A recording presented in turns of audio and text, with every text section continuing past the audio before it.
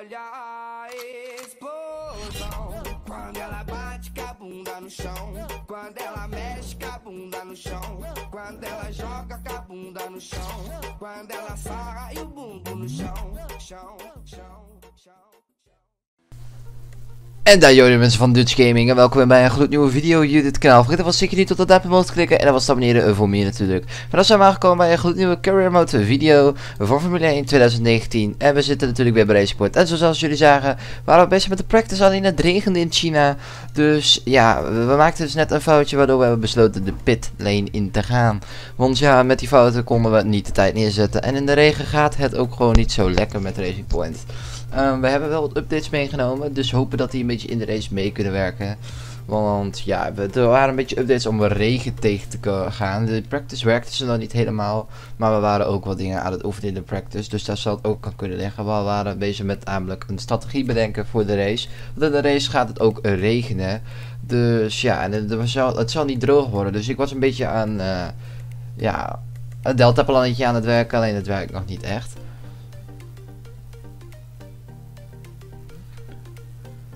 Want eh, de regenplannen werken dus nog niet echt bij Racing Point. Maar het moet goed komen. Ik bedoel, van Sergio Perez wordt negende. En wij worden laatste, denk ik.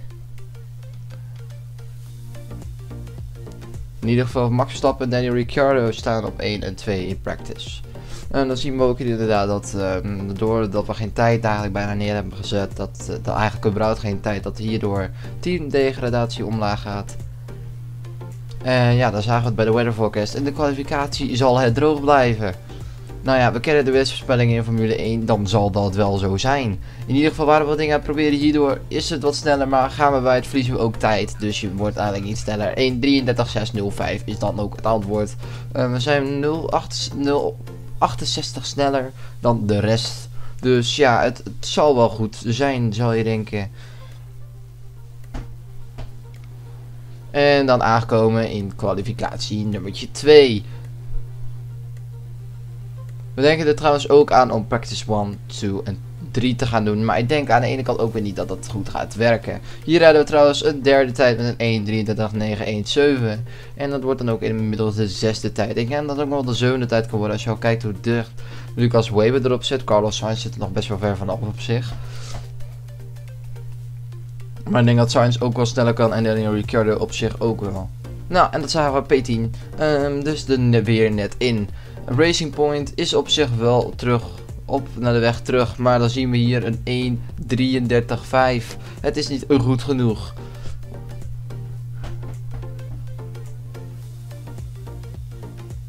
Met deze soft tires was het dus niet goed genoeg. De zevende plek was dan wel een feit.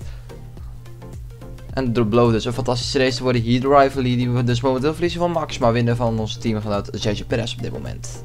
Want ja, zoals jullie weten gaat het, deze, gaat het in deze serie, in dit seizoen vooral om de rivalry. Die willen we graag winnen. We hebben vorig seizoen echt buur voor gameplay gedaan. Dat is dit, dit ook zo. Dit, dit, veel, nu is het veel meer gameplay.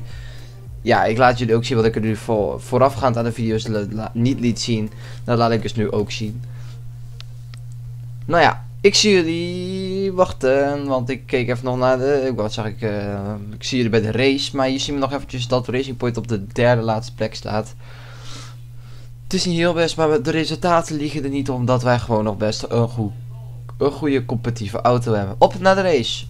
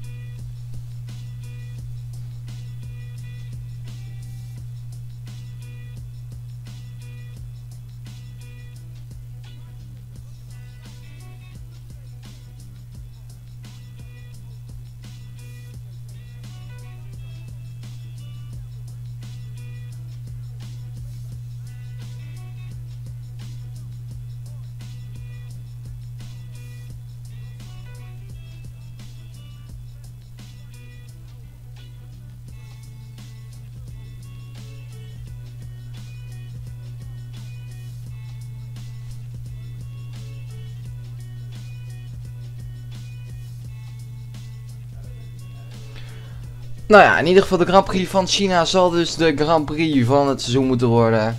Althans, het zal eigenlijk een spektakel moeten wezen. Willen wij presteren in de regen. Maar ik heb op Grand Prix sowieso al een beetje geoefend op regen. Want ik vond dat ik daar nog niet heel erg goed in was. Het lag vorig seizoen best wel heel erg aan de auto. Maar bij Toro Rosso. Maar toen ben ik naar Racing Point gegaan en toen dacht ik van dit kan niet ook zo zijn bij Racing Point. Dus heb ik hard geoefend. En moet alles nu goed komen. In ieder geval gaan we hier onze warm-up ronde rijden. Ook wel de Formation Lab genoemd.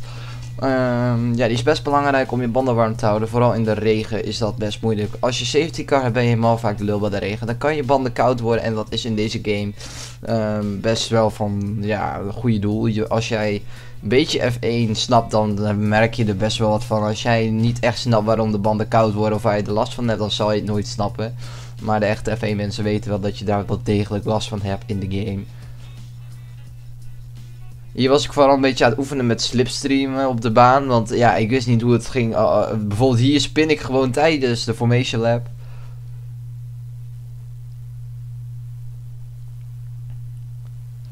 En dan zijn we ook begonnen aan onze eigenlijk een soort van inhaalrace. Om terug te komen waar we waren.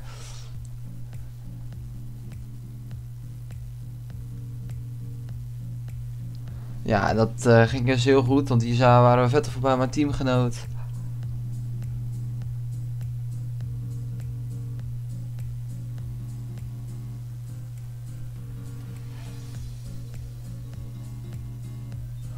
Nou dat ging dus hartstikke goed in de race. Dan gaan we dus op naar onze opstelling.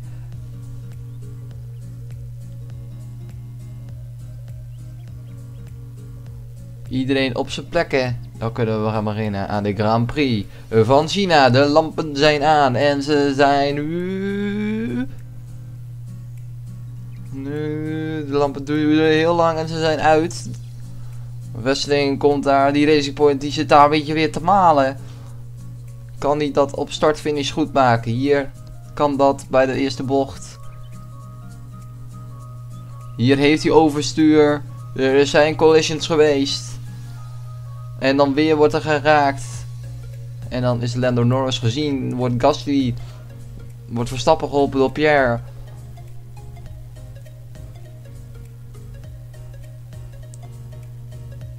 Besluit ik ook een onverwachte move te doen op Gasly. En dan ja, wil ik ook Verstappen voorbij. En dat kan hier ook. Hier kan je inhalen, moet je wel voor goede huizen komen. Maar die huizen konden wij zien. Oh, dat is echt slecht. Konden we in ieder geval uh, de inhaalactie doen op Max Verstappen. En zijn we dus ook Max voorbij. Dat is goed voor onze rivalry. En um, ja, ik wil onze rivalry eigenlijk wel gelijk maken. Dus toen, dan moet ik eigenlijk een race winnen. Daar komt het op neer voor een betere positie. En ook voor het aantal punten willen we Max Verstappen natuurlijk voorbij. Dus moeten wij um, ja, voor goede huizen komen. Dat kunnen wij. Maar een gevecht met Max Verstappen kan ik ook niet uitsluiten.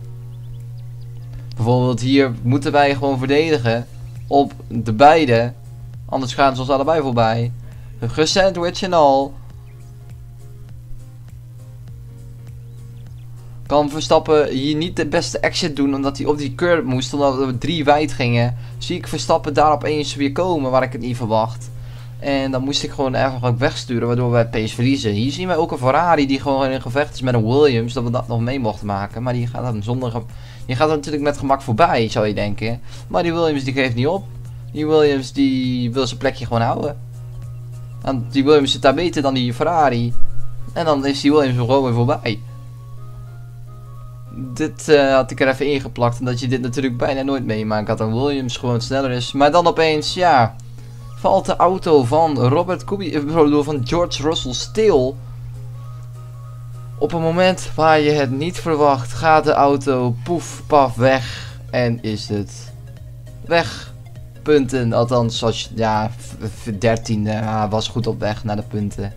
Maar hier zien we het, het, het, na de bocht gaat de auto alleen maar, ja, slaat eigenlijk gewoon een soort van af. En weg. En hier zien we dan mijn teamgenoot Perez die er een inactie wil gaan doen. Alleen, ja, die, moet, die staat opeens random stil. En dan gaat Leclerc stilstaan. Hierdoor komt de safety car, want hierdoor gaat Perez weer stilstaan.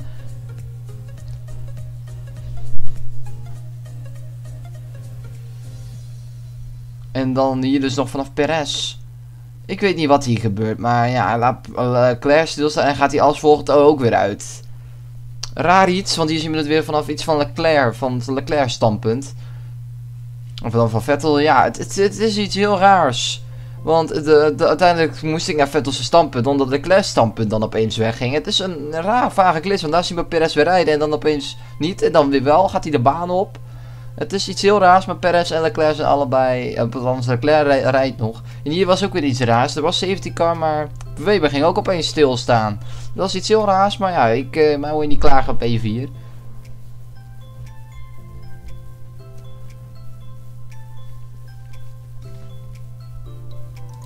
En dan uh, ja, zit iedereen een beetje achter die safety car van ja, wat moeten wij nu doen?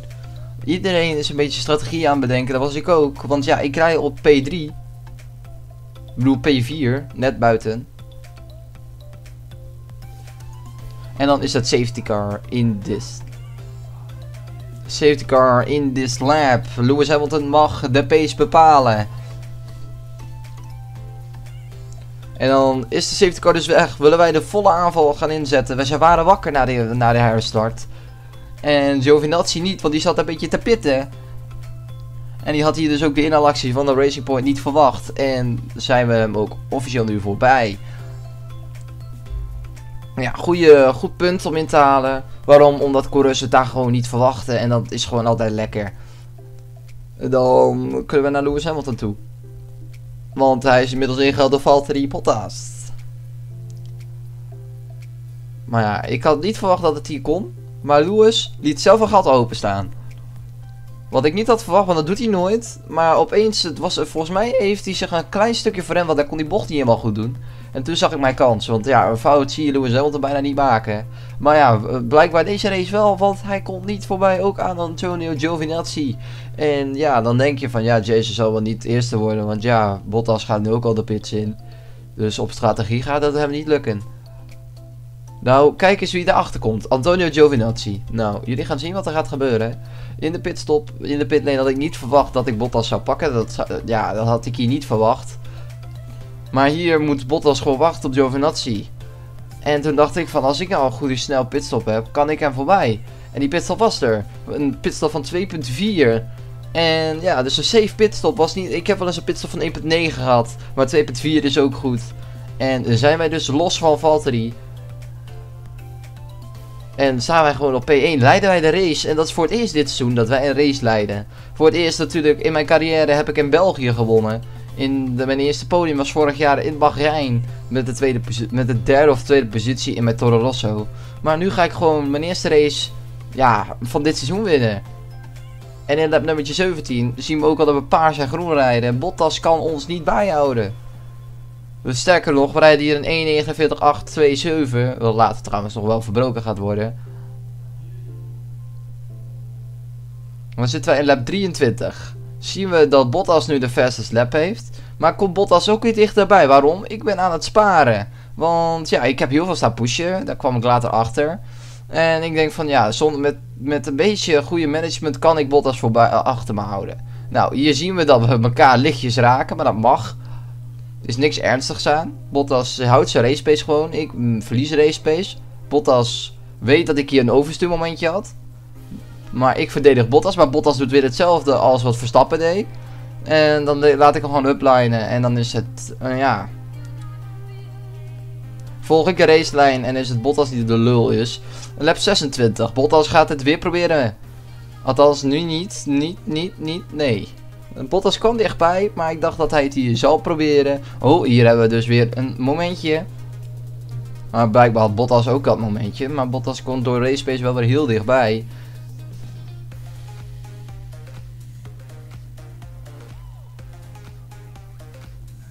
We hebben in de race onze momentums. En dan is de final lap of the race waar Pierre Gasly nog even een 1.49.009 uit weet pleuren.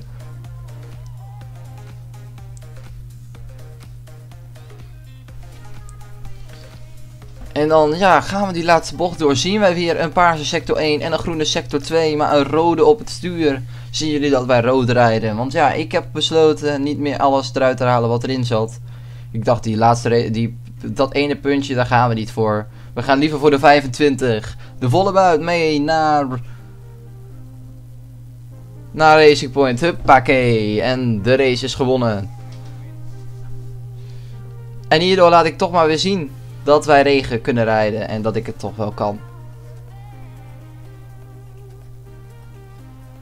Onze teamhuis is blij. Nou mensen, ik zie jullie bij de uitslag van de race en bij de rivalry.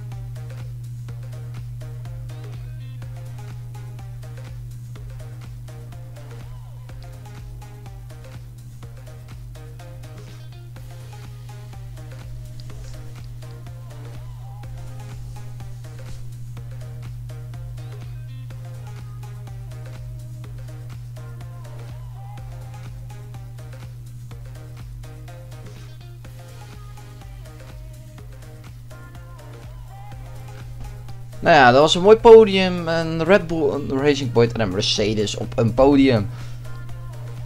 Ferrari, ja, dat is nog steeds slecht. Het gaat niet goed bij, de, ja, bij het fabrieksteam van Ferrari. Um, ging wel per ongeluk naar herhalingen, maar hier zien we het. 45 punten op de tweede plek. En ook Racing Point is gestegen naar de derde plek.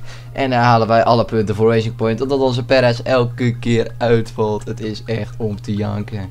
Maar ja, het is niet anders. Wij helpen Racing Point gewoon naar de punten. En ook race 3 is hierbij afgerond in de seizoen 2 van de Career Mode. Ja, het gaat snel. Want ja, we willen dit graag afmaken. Maar ja, het interview. Je presteert beter dan, dan het vorige weekend. Wat, uh, wat is er veranderd? Nou, helemaal, eigenlijk helemaal niks. Je hebt best veel afgesneden op het veld. Wat was de strategie? Nou, er was niet echt strategie. Ik had me vooral veel momenten.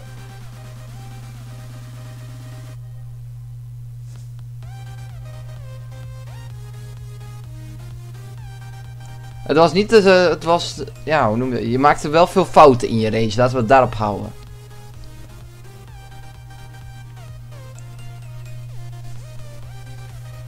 Dat andere kon ik even niet vertalen. Uh,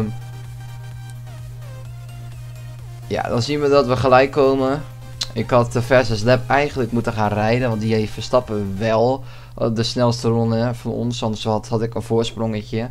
Maar dan zien we toch dat Ferrari ons graag wil. Maar Red Bull, ja, het komt er nog niet uit. En dan, dan zien we toch dat Red Bull Toro Rosso ons heel graag terug wil. Nou ja mensen, ik hoop in ieder geval dat deze video leuk vonden. Vergeet dan zeker niet de duimpje te klikken en te abonneren voor meer te drukken. En dan zie ik jullie bij een nieuwe career mode. Later mensen!